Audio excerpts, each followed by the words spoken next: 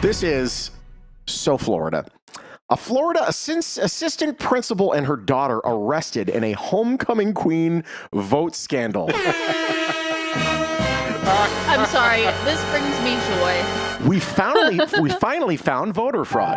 Huh? Hey!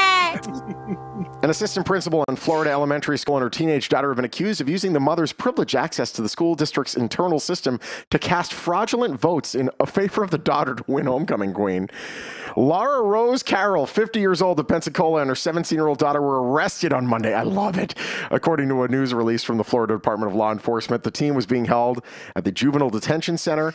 Final determination of whether she'll be tried as an adult rests in the hands of prosecutors. How come you can send a billion fake, fake freaking robocalls pretending you're a freaking short term insurer? Right. But you just want to, and she's in jail. What is happening? Oh, God. Right? So I was about to say, if that was the case, then in Ohio, the whole cheerleader squad would have been arrested my senior year because they did that to me. No way. Wow. I was supposed to be homecoming queen. Wow. And I found out afterwards because I befriended one of the girls in choir, and they said, Sarah, I have to admit something to you. And I said, What? She goes, You weren't supposed to be a tenant. You're supposed to be queen. But uh, the head cheerleader said, No way in hell is there going to not be a cheerleader as the queen.